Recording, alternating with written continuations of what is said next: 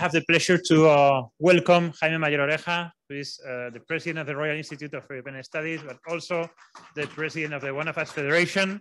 Uh, he has taken, he has taken Permítanme unas muy breves reflexiones en este allow me very briefly in uh, the beginning of uh, the closing of this event that will of be officially closed uh, by my admired uh, friend uh, Rémi Brague. Uh, I'd like to thank you for being here in Brussels in this uh, event brought to you by the Institute of European Studies and CEFAS, uh, by an institute under the uh, San Pablo CEU University. And I'd like to thank uh, the Lattice Chancellor for giving us the opportunity to put this event together. Thank you for being here. I'd like to thank all the speakers.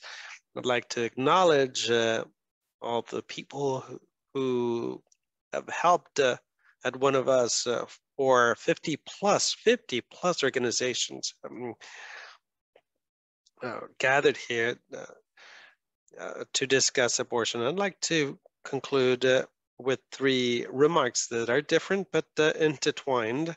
And if I may, I will finally draw a conclusion of today's meeting.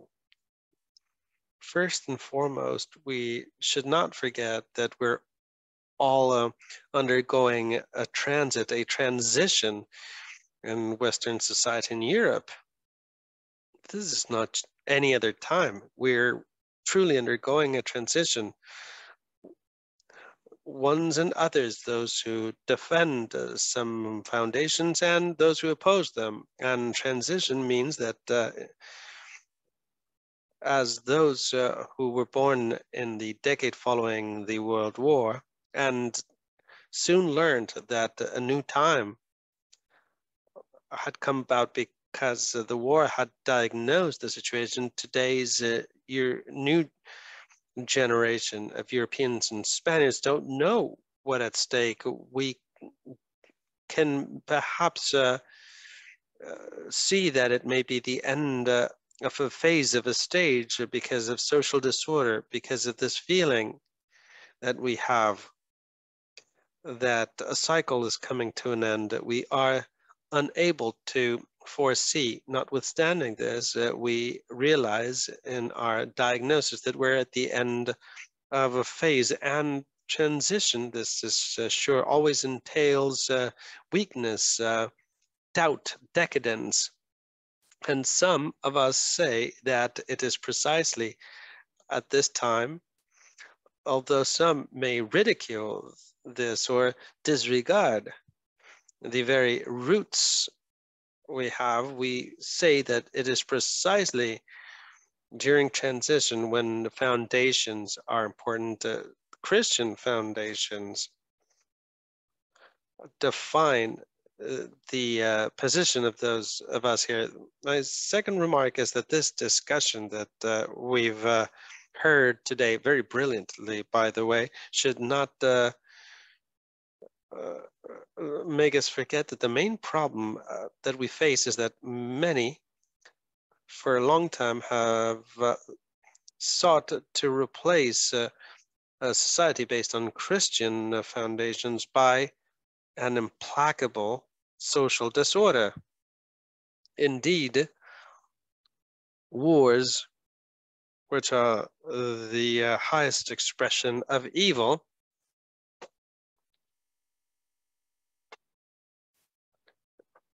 this evil is a consequence of uh, the legitimation of uh, abortion and there are other symptoms of evil, but I won't go into that today. But as abortion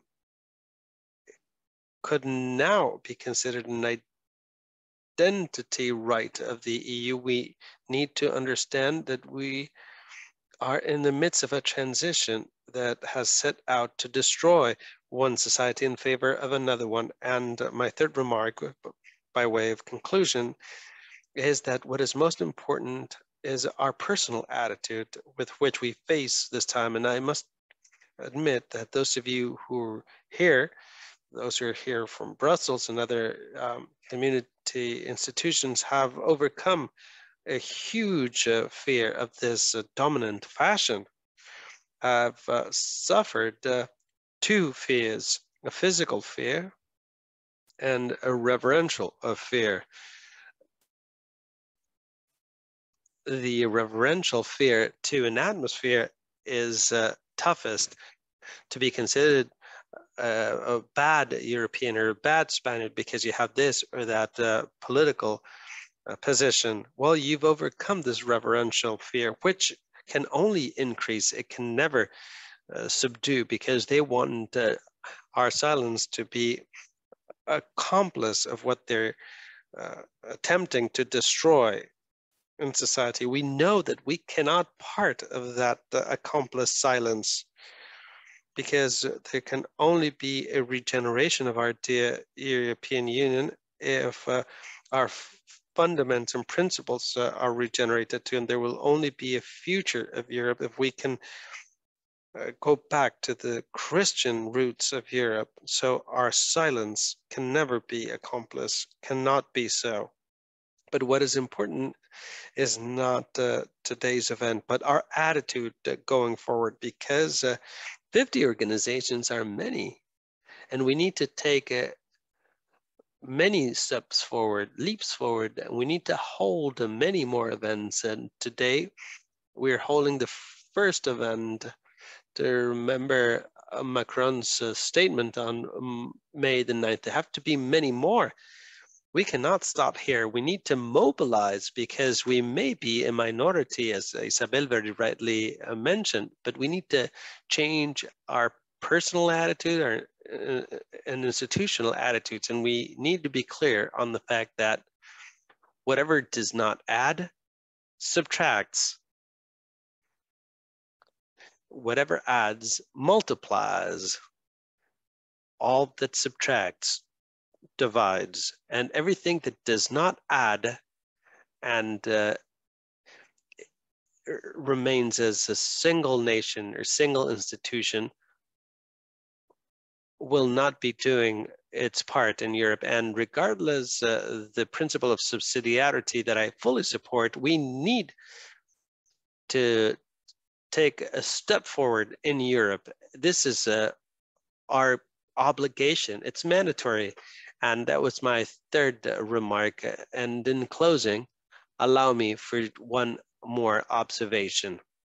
We've heard, and it's been well explained here, that we know uh, that the main ally of those who want this new society want us uh, to settle, to adapt. They want our silence because they're trying to shape uh, this new society, not like the Nazi or communists did by propaganda.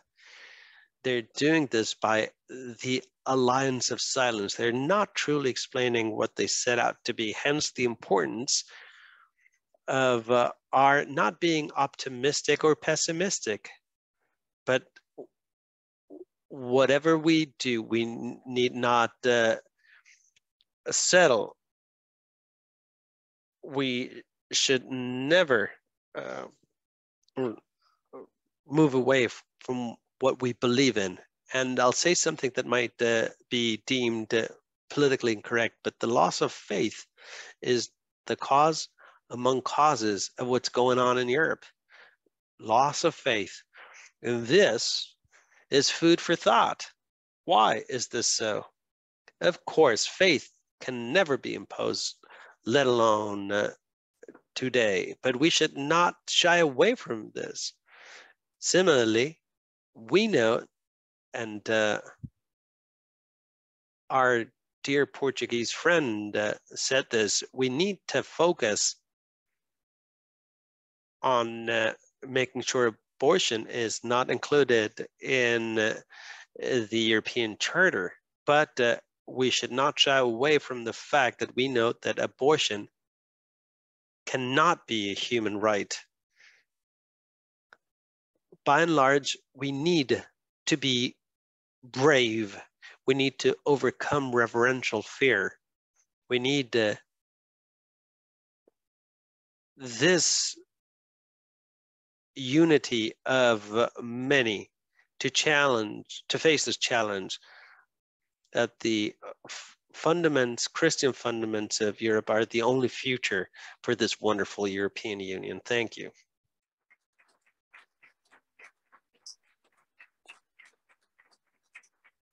Thank you very much, uh, Jaime. You have always been an inspiration for us all. So uh, thank you, thank you very much.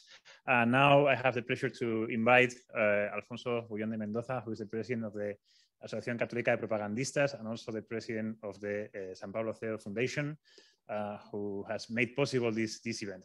Thank you very much.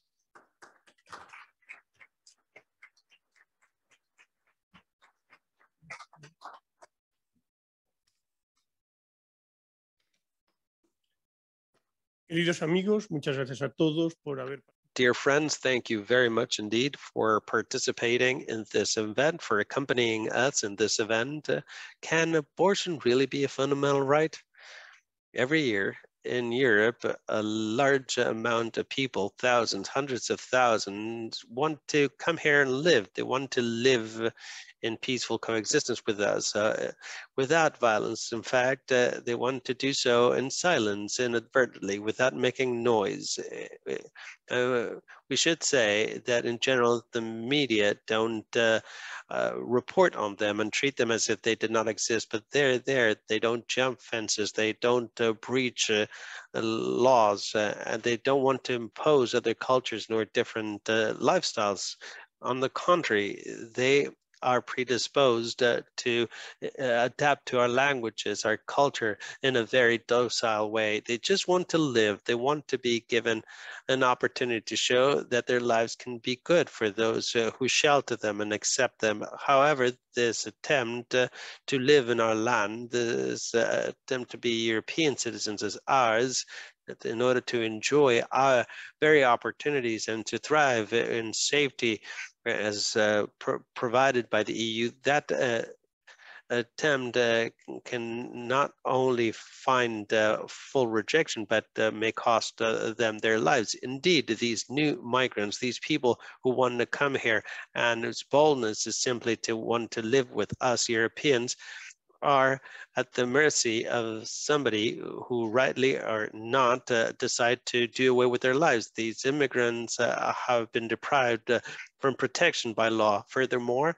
uh, some uh, uh, believe that their lives can be done away with just by an arbitrary judgment that should be a fundamental right. This is the situation which thousands of humans are and the, these lives have been deprived of all right to live among us. Uh, however, these lives exist, uh, they are real, and only by means of violence uh, can be eliminated uh, from the wombs of their mothers. Why don't they have a right? Why are they deprived of all um, protection? What is the justification? Honestly, it is hard to understand, and I'm afraid that uh, we uh, are. There is no reason, but rather there is unreason. In the face of this and the, the face of this radical transition of what was used to be considered uh, an offense uh, uh, is now uh, intended to become a fundamental right. So I'm thinking about uh, the Macbeth witches who's said uh, fair is foul and foul is fair. And now they want uh, law to be unjust. And there's an attempt to include abortion in uh, uh, the uh, Charter of Fundamental Rights of the EU. And these uh, sorcerers or apprentices uh, are trying to go beyond what has been enshrined in national uh, constitutions. And they want abortion to be a dogma, something that cannot be questioned without immediately de declaring excommunicated those who will go against this or prescribe those who think differently. So it is clearly an imposition of ideas uh, that, set out to, do away with dissent. It is a totalitarian attempt on part of uh, the European Union, even full countries that don't agree with uh, such a grave matter. We do not agree uh, with this in the face of refounding of Europe, because this refounding of Europe has very little to do with that Europe the, that came about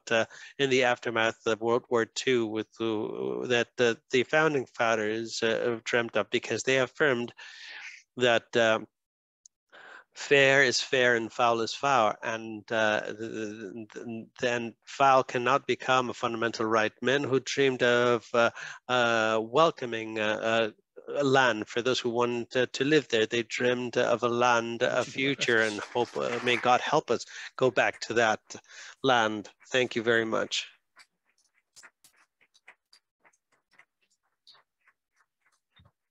Thank you very much, Alfonso, for these uh, beautiful words. And now we are going to welcome another authority in the defense of values in Europe, which is uh, Rocco Buttiglione. So uh, please, you have the floor.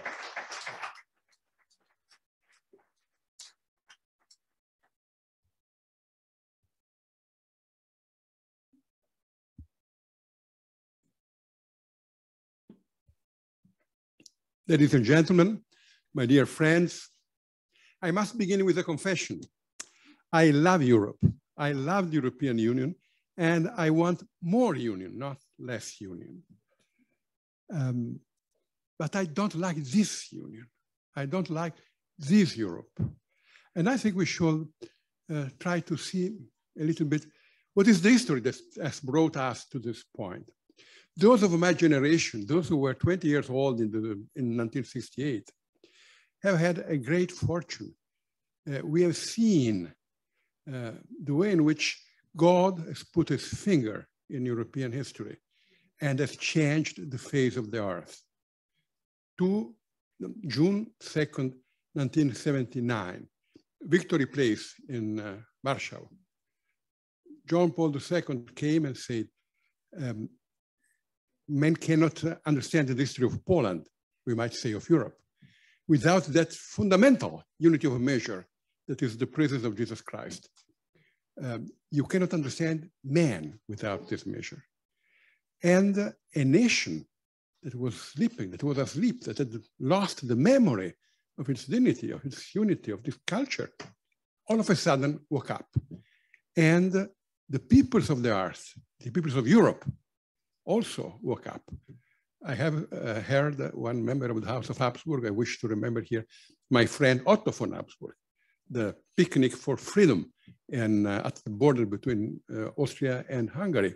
And one of the most powerful empires in world history collapsed, fell down. So I think we should look towards the future, not towards the past. History changes we have had a cycle of history that has culminated at the end of the 20th century, in which we have done great things. We have reunified Germany, we have reunified, no, we have not reunified Europe. We wanted to reunify Europe, but we had only the enlargement. The reunification was based on an exchange of gifts.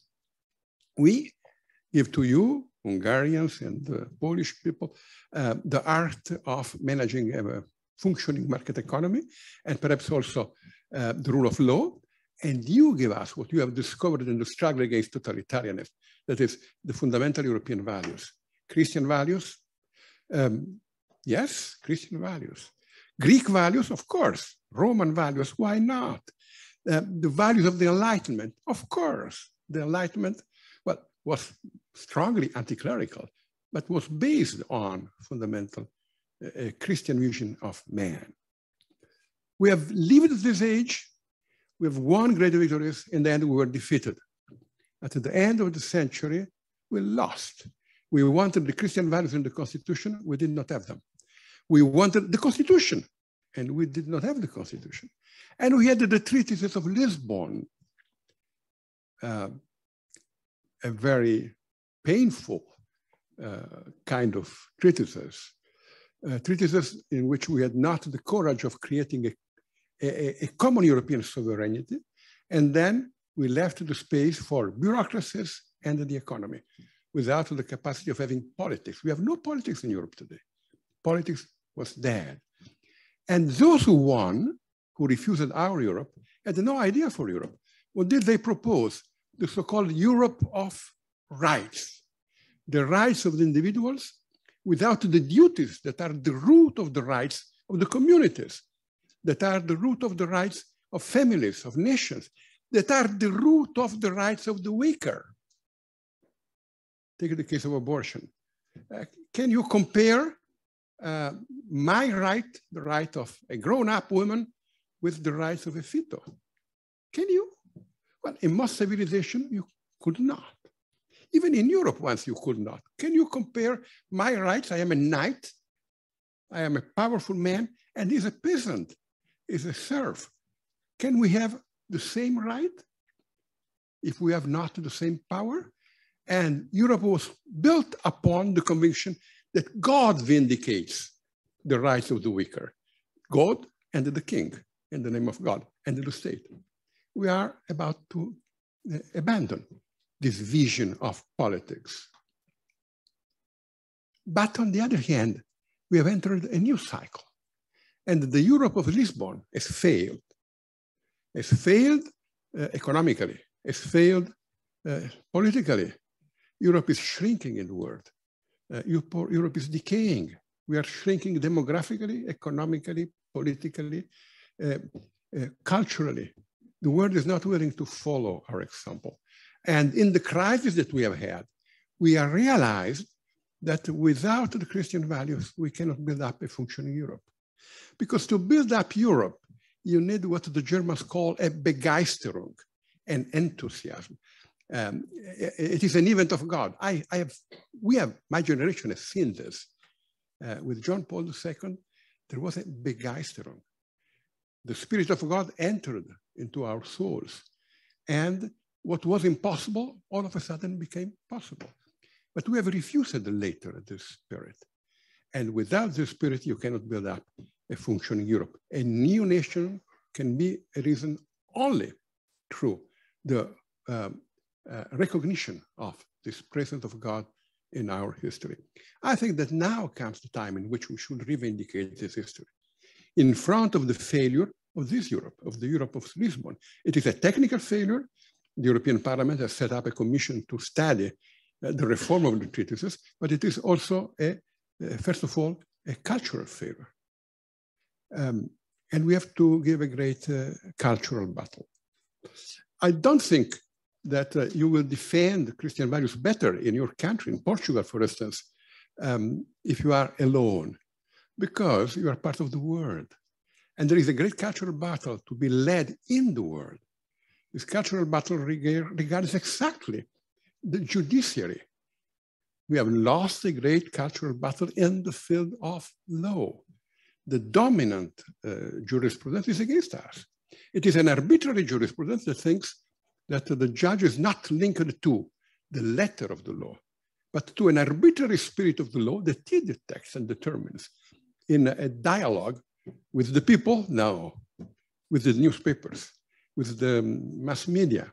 We have to give a battle on this point. In the United States, they did, and they won. Then it can be done. If it happened in the United States, it can happen in Europe. And we should be aware of this dimension and of the cultural dimension of the problem. And the first cultural dimension regards the judiciary and the anthropology.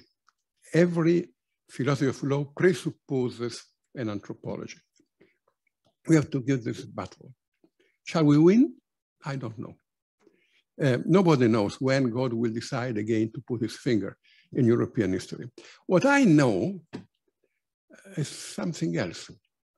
A few days ago, I was in Brescia, uh, and we had a great uh, uh meeting with Lech Wałęsa uh, on the Europe of John Paul II. There were, there were so many people I had not seen since I don't know how long. Um, and uh, Lech Wałęsa spoke about uh, God that who put his finger in the history of Poland and of, the, and of Europe. And I said, well, look, don't remember. This happened on June 2nd, 1979. But until the day before, until the day before, there was no nation, there was no people, there was nothing of nothing. Uh, there was only small groups of people who had no great hope for the future, but wanted to be faithful, who wanted to remain faithful to truth. Even God, when he decides to put his finger in history, needs to find at least a small people, a group of people who have remained faithful, so that through them, uh, the name of God may be again recognized in history. And they will recognize that not we did it, God did it, just because we are uh, so feeble, so few. Non nobis domine, non nobis, sed nomini tuo da gloriam. Will a new enthusiasm come? Much depends on the capacity of the church of overcoming the present crisis of pedophilia and of going back to give a simple but convincing testimony to the love of Jesus Christ who puts together men and makes of many disjointed people one community, the community of the people of God, of the saint people of God, as Pope Francis uses to say. Thank you.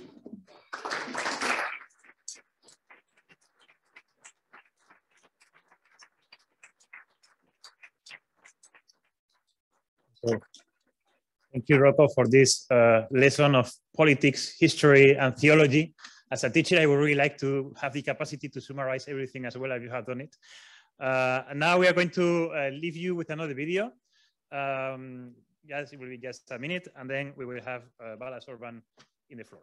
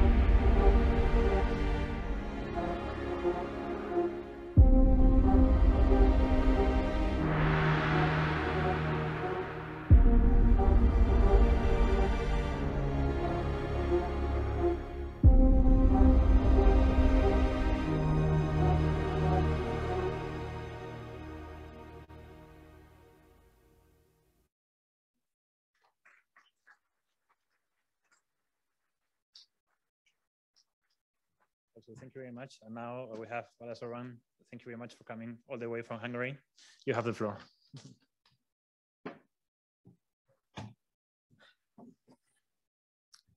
Good evening, ladies and gentlemen.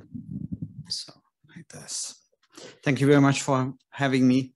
I'm grateful to be here. As, as I was thinking about what to say today, an old story came into my mind and actually Googled it and realized that uh, it, it, was, it was actually a famous writer, Mark Twain, who said, quote, when I was 14, my father was so ignorant uh, that I could hardly stand being around him. But when I got 21, I was surprised how much he learned in just seven years. I think we can all relate to that. Sometimes things can seem very different as we get older and wiser. This is also true um, for the topic of today's conference. For Christian conservative politicians, one principle is clear, and it comes directly from the Bible, that every human being is created in an image of God. This gives every life value, and this is where human dignity comes from. But for me, as an active politician, I'm not here today to talk about theory. I leave that to theologists and priests. In my understanding, my job is uh, to talk about how to transform this biblical idea uh, into practice. In Hungary, for like almost 13 years now, we have the government which is motivated actually by these ideas. So in the next minutes, I would like to share our experience with you, how we can put in put this into practice, uh, what works and what doesn't, what were our, our successes and as well as our failures. But before jumping to the treatment, we first need the diagnosis. So here's our diagnosis. 70 years ago, Europe made up more than 20% of the world population. Today, it is only 10. The median age in the European Union increased by 15% in the last 20 years, with the elderly making up 20%, um, compared to the global average of 10 only. This means that by the end of the century, one third of the union's population will be over 65 years old. One may ask, is it a problem at all? Some argue no. Uh, they say that the world is already overpopulated. We don't need more newborns. We actually disagree. As the Bible says, be fruitful and multiply. Having a child is a blessing. The more children, the more blessing on humankind. But then what to do to have more people in Europe? Uh, some say that we should all turn to migration. Let's bring people over and hope for the best. But should we really solve our problems by, by bringing in millions of people with different cultural backgrounds? Well, it must not come as a surprise that we Hungarians say, no, migration is not a magic pill to solve our problems, demographic problems at all. We see traditional families as the backbone of well-functioning society, society in which human dignity uh, gets the respect it deserves. We need more children ever. If it requires efforts and resources, it seems unattainable at first, but, but there is actually no other way around. One thing is clear from, from the start. Having children is actually a private issue. So the question is, how can we encourage then our citizens to have more children without interfering in their private life? No one knows the answer for sure. And this is one of the biggest questions of our time. But at least uh, in Hungary, since 2010, we have had some number of slow but successful attempts to solve the puzzle. And this is what I want to really uh, quickly share with you today. The central idea is based on the fact that according all research stats and polls, Hungarians and I assume Europeans as well would be willing to have more children than what they end up having in the end. So most probably due to social, cultural, and economic factors, they change their mind or, or they're not reaching their own goals. So the goal is for us is not to force them to have more children than what they want, what help them to get the number of children they already want. And this is a huge difference. We want to live in a society similar to the one we used to have where children were sets and the means of perfect life and not the sacrifice as in contemporary life. Our approach seems to be working since the launch of this very different type of attitude. We have almost 200 thousand children more, which equals to the population of the second largest city in Hungary. Um, we tripled our family policy expenditure. Proportionately, Hungary is investing the most resources in the EU, 6% of the GDP to family policy. We support women and want them to feel that they don't have to choose between their personal and professional life. If you have children, it is eased by the state to go back work until you return. You get 100% of your salary, uh, get extra benefits, tax cuts, tax refunds. If you are married and you are signed for having three children, you get immediately um, 25,000 euros from the state and further, further financial resources um, to have a house. There are increased number of nurseries, kindergartens, family-friendly workplaces uh, are rewarded, state-funded billboard campaigns and ads encourage citizens to build a family. There is a strong culture for pro-family sentiment. And the results were the result speaks for themselves. In the past decade, the number of marriages doubled, divorces halved, the fertility rate went up from 1.2 to 1.6. And what is important for our conference today, the number of abortions halved, actually falling uh, from 44,000 in 2010 to 21,000 in 2021. Um, thank you. Thank you for the mothers and for the, for the families. Uh, what is important to mention is that we reached this drop of abortion rate while maintaining popular support in our family policy, not losing the majority of the society without changing any kind of regulation or causing any kind of internal political polarization. In the number of cases when conservative political forces wanted to open abortion as a regulatory issue, open up it for debate, they received a strong backlash from citizens, often even from their own voters, losing support in the process. This is the reason why we in Hungary is probably controversial here, but it's important that we made the decision that we don't want to change abortion regulations at all. Instead, we turned to other tools, preserving the freedom of choice while the life of the unborn has also become more protected than ever. To sum up, the Hungarian approach is the following. Fight for your unborn population, fight for the new generation, number one. Number two, um, support the families by any means. And the third, don't push away the majority of the society. Create an environment instead in which people they can get what they want through the means of family policy. We would love to see these basic principles become a Europe-wide consensus. In my experience, um, even if all of this is evident, uh, probably in this room, it is unfortunately, as we were talking about, the minority opinion outside uh, this room. And this is really uh, worrying because the lives of the unborn, uh, the future of Europe is in stake. And previous speakers were talking about um, talking about the future of Europe conference and changing the treaties and giving up unanimity. Um, I can inform you that until we have this government in Hungary, there will be no end of unanimity decision making in the European Union. We will never ever give up our rights and values. Hungary will always be on that on your side in that issue. To conclude,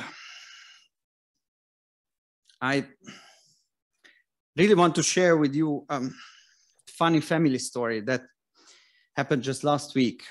As some of you might know, I have two, two sons, a two and a four year old. They are absolutely wonderful, but uh, as you can imagine, it's not always easy with them, especially not with the older one, who is um, deep into the infamous uh, no stage. Uh, but sometimes we have small successes with my wife. Just a couple days ago, we had a conversation at home when my 40 year old turned to us and said, Finally, there is one thing I agree with you on. So we felt intense happiness. And this is, this is the spirit that drives us uh, all together in this room today, because all children who are planning to come to Earth would agree with us on everything we have just said. So this is our hope. This is our future. Thank you very much. Thank you for the attention.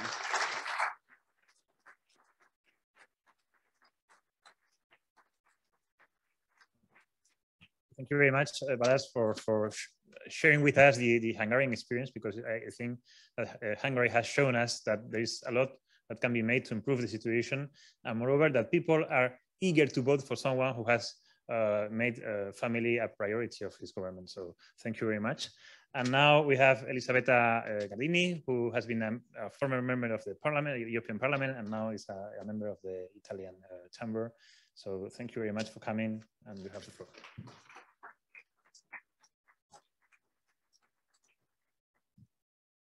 Grazie. Veramente grazie. Thank you. I'd like to thank the organizers of this event.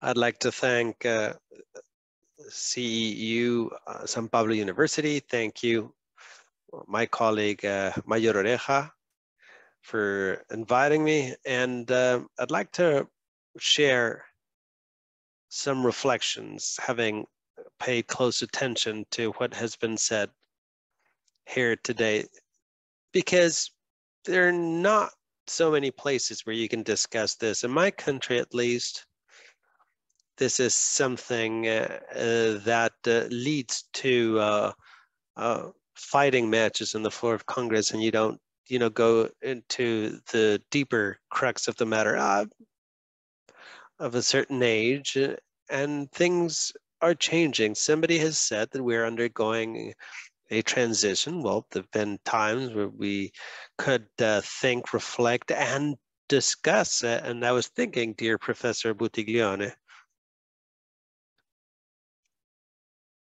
uh, Arendt, who in the 50s uh, promised uh, the beginning of uh, a deep change, and Arendt, as a very important book on uh, the banality of evil.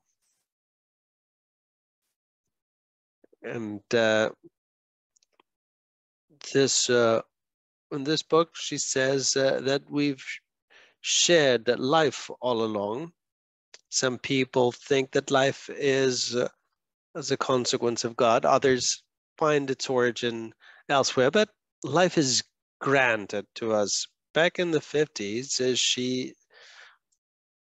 would uh, see change, and many thought that life should be at the disposal of men.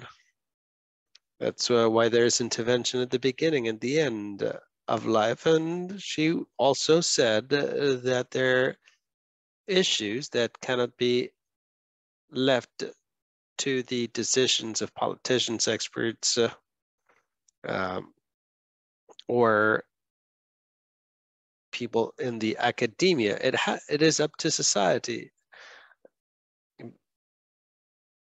together. There are slogans these days that are very extended and uh, if you don't uh, abide this they say that you're phobic uh, you're in denial you're uh, say tagged with uh, very unbecoming adjectives and that extraordinary book that i'm yeah, with there's a dialogue between Habermas and Ratzinger, uh, reason, faith, and dialogue. Habermas, greatest uh, living uh, philosopher and theologist at the time used to say that those who don't believe need to listen to believers because our civilization was born following the secularization of Christian pr principle. This has been forgotten these days. Uh, Habermas's example meant that we're all the same because somebody came along called Jesus Christ who said, We're all the same. We're all the children of God and we're all the same in the eyes of the law. And this uh, is uh, uh, compared with the Enlightenment. But I think uh, much of history has been erased. And, But uh, let me tell you something. There was a demonstration in Italy. I think it was, was back in 2005 when the uh, assisted uh, fertilization uh, um, campaign, um, regulation came about, and there was a campaign in favor of uh, abstention. And there was this com full campaign by the media. There were athletes, singers, uh, actors, opinion leaders. Uh, so from every corner, there was a campaign to vote for yes. 70% of people did not go out to vote. And of the 25 who voted, five said no. And 20 percent uh, had uh, uh, voted differently, and uh, some said you don't need to vote uh, like the Pope. You need to vote yes. Well, let's say 20% voted yes, meaning that 80% of uh, the Italians back in the day, people who watch television, who attend conferences, go to the movies, go to school or university, and tend to see their ideas uh, represented. It's uh, they they watch television, go to conferences, and they feel I'm a minority, I'm marginalized. But uh, I'm not sure we're a minority, nor that we're marginalized. After many uh, years of uh, governments in Italy who governed uh, without uh, the support of the voters because there was no clear majority.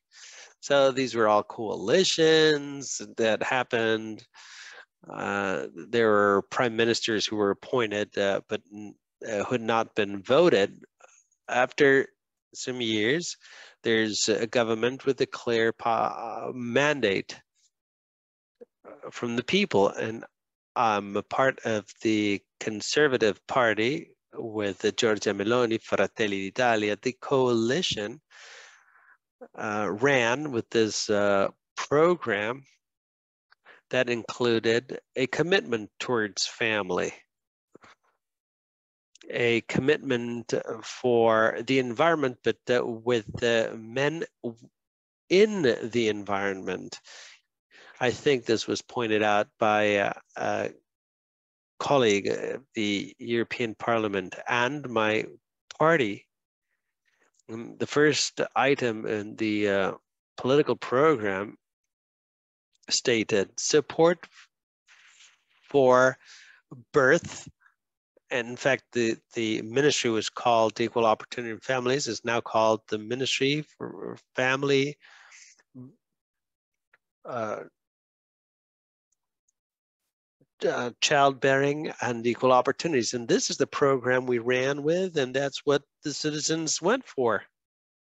So I believe that we need to be specific. We need to support families because I think that uh, the pragmatic approach uh, uh, Paolo Angel mentioned earlier and also uh, Nuno Melo is fundamental when you're uh, in office. And uh, especially if you want uh, for people to have peace of mind, or else there's an ongoing um, clash. And when you're in government, you need to solve people's problems and you need to help families. The fact that families uh, are at the core of what you do because there are many things that have to do with families in our program we say for example that the families are pillars on which uh, society is built and in the words of uh, john paul ii well i'm not going to tell you everything in our program uh, but uh, we had uh, many um, items that were in favor of families uh, taxes benefiting families, uh, checks for families, you know, 200 euro checks for each child for working mothers. And in item number one in the program, you can read the implementation of law 104 1978 on the voluntary interruption of uh, a pregnancy. I think this is true for other countries. In 1978, because you know society's changed. So us saying in the, this law was passed in 1978, and in 1981, a referendum was organized with radicals who wanted to uh, extend the right to abortion, and then there was this referendum uh, with the uh, pro-life uh, supporters. The Italians did not support uh, the radicals, but uh, the, first part of the law was never implemented that has to do with implement that has to do with prevention. Why? Well, if a woman has financial uh, challenges or difficulties at work and uh, feel can't uh, go through with the pregnancy, and this is in the spirit of the law, you need to help that woman overcome these challenges and difficulties. And this is something that we we're committed with, and we will uh, walk the talk. And it seems scandalous that we want to set constraints. On the contrary, we want women to be free to follow the spirit of the law, for women uh, to find what Paolo Gil mentioned, the legal solution to a conflict a conflict among fundamental rights. And, uh, with this legal solution, you don't need to change the law. However, I'm worried because we all got this email at the uh, European Parliament from uh, an MEP uh, requesting President uh, Metsola to verify the uh, of uh, pro-life organizations to see if they're in the transparency registry of the EU. What I'm trying to say is that there's too much. Uh, uh, there's too much uh, aggressiveness that you know came from uh, sensible people. You, you could uh, discuss calmly, but anyway. So let's talk about the future of Europe. We're in favor of Europe. We're pro Europe. Uh, but if only uh, there was another Europe, a Europe whereby the principle of subsidiarity be truly implemented. And as my leader always says, Giorgia Meloni, a political dwarf and a bureaucratic giant. We want Europe to focus on the important things and leave the subsidiarity principles in the hands of what states know uh, how to do best. I will um, conclude by saying that I'm part of the delegation at the Council of Europe, uh, representing the European, uh, the Italian Parliament. And since we've heard uh, a lot about the role played uh, by Strasbourg and the European Court of uh, Human Rights, I believe that events uh, like those discussing the legal foundations uh, uh could be organized uh, in Strasbourg too, because we realize that sometimes custom prevails uh, and uh, goes uh, beyond uh, rights, and we need to stop this uh, trend. But governments need to take on a positive uh, outlook in favor of families, to defend women, because women need to, to fulfill their will to be mothers because many studies uh, show that many have fewer children that they'd like to, but it's always a practical financial uh, problem. And uh, it's good to have a government that uh, attempts to respond to that and a government that wants Europe to have a future. We need specific uh, solutions to do away with hurdles and to put families at the heart of everything we did. We just got started, and I hope to come back uh, with figures that show that we were right and that we've done our jobs well next time we meet. Thank you. Now we have uh, um, our last video, and then we will have the closing intervention by uh, Rémi Brague. So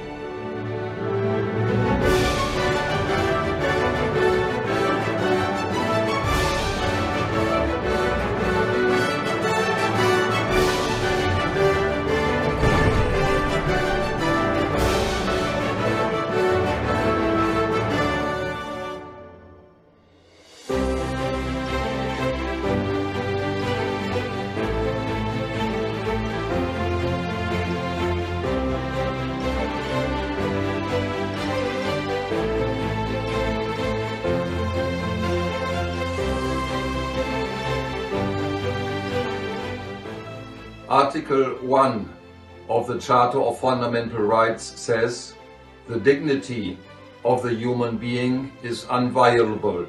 So that's my personal translation into English. In German it is Die Würde des Menschen ist unantastbar. Or one could say as well, the dignity of the human being is sacrosanct. And the Article 2 says that the human being has the right for life. So there is no description in the Charter of Fundamental Rights concerning abortion. Abortion, this challenging problem, and it's a question of conscience, of course, is a question of subsidiarity, and the legislation must always be a national one. And the legislation is very different from one country to the other. But it is very clear that the Charter of Fundamental Rights is not speaking about abortion and that nobody can say that the Charter of Fundamental Rights is allowing or is uh, a, basis for abortion. This nobody can say. And my request, my propo proposal is that we should do everything in our national countries to support the life and that children can be born. It's a challenging problem. I know how difficult it is, but we should do everything to help women and families to solve this problem and give life a chance.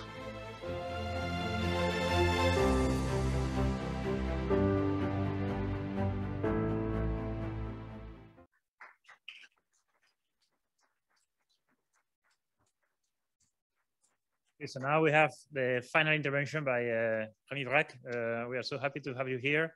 Uh, Rémi Brague is, uh, well, I don't have to introduce him, uh, Rémi Brague, I think, uh, but he's a member of the Institut de France. He's also a member of uh, One of Us, and his interventions are always like the perfect way to finish one of these events. So please, thank you very much. At the end of the event, we are going to kindly ask all the speakers to stay with us so we can take a family picture. So uh, please, uh, let's do that, okay? Thank you very much. Remy, you have the floor.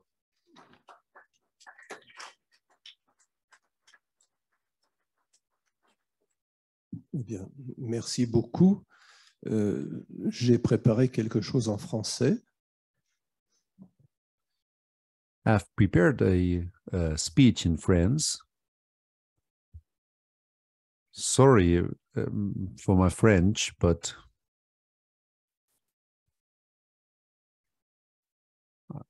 I've given this conference a very difficult uh, title, which is um, Do What You Can. I tried to find equivalents in other languages. It would be like uh, try your best alone. I don't know how to say it in in in German. In English, would be like uh, you're on your own. And very very frequently, they tell we are they labeled us as pro-life, is an American term that has uh, been imported, but for us,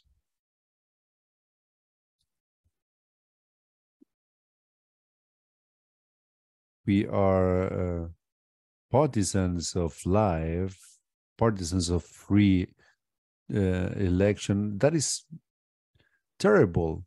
Life is not simply something or that condition of being alive, something that we share with the plants. We have something else. We have the human life. So, as principle, we worry about a human being in all his dimensions, its dimensions. And into the two generations and in the two genders, we reject uh, putting the woman against the the child, unborn or newborn, or on the other way, on the contrary, to put the child against the mother. So we reject living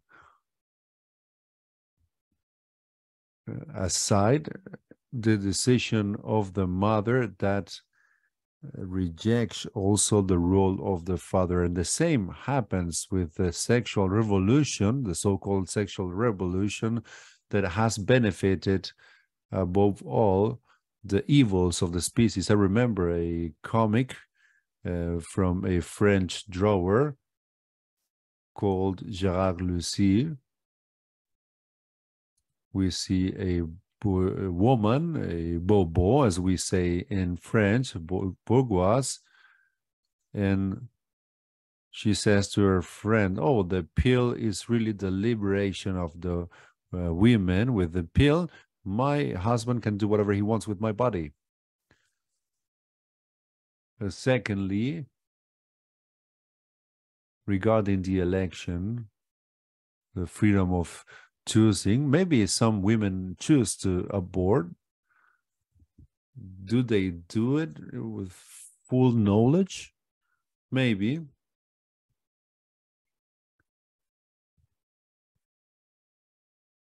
Women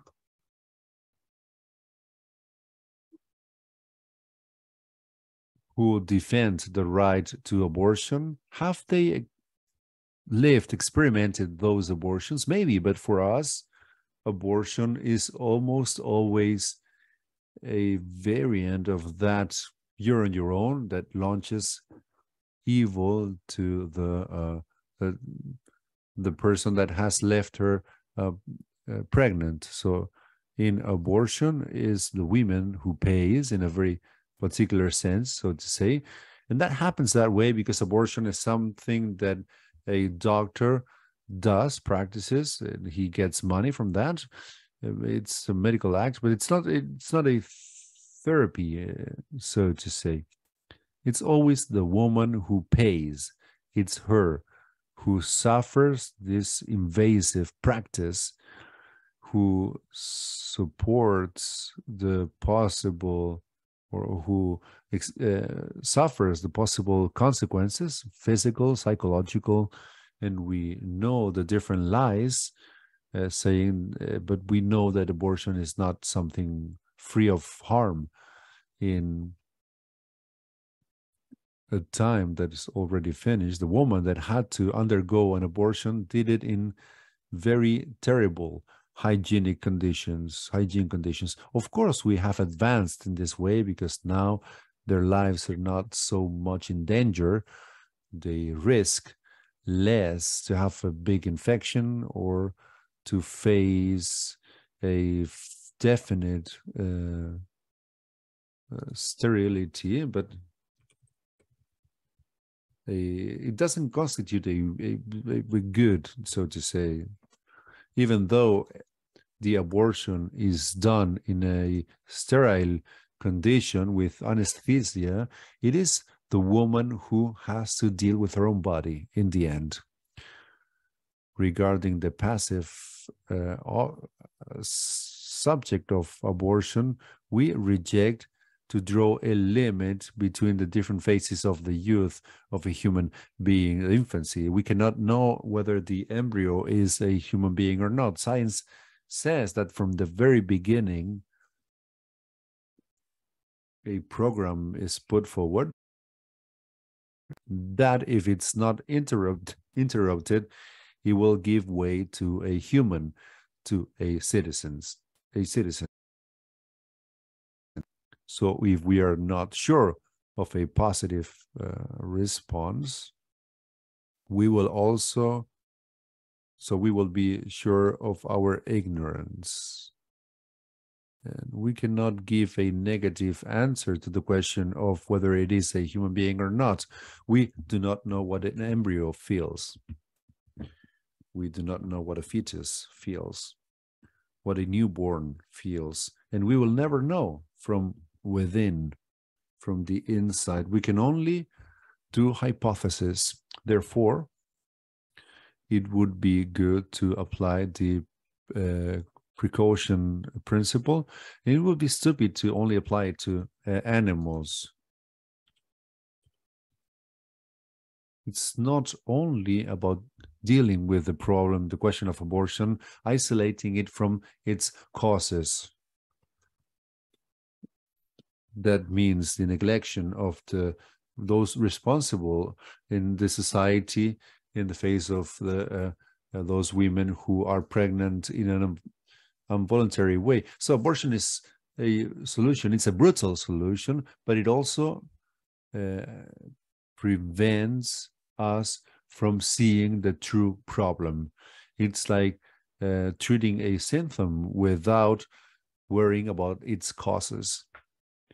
So some states, some European states, and from other places, on behalf of the whole society uh, to which they uh, think they represent. Re let's remember the uh, quotation from Nietzsche. Nietzsche says that the state is a liar, saying that uh, it is the people. But these are the states that tell the woman, just you are on your own these states in this way generalize the this the masculine silliness uh, they even enshrine it. It could be that the european union and i hope god uh, prevents the european union from doing it but it could be that they have the uh, approach of the reckless uh, male who conveys or transmits everything that is unpleasant for him to the women. Let's hope that this uh, this doesn't happen.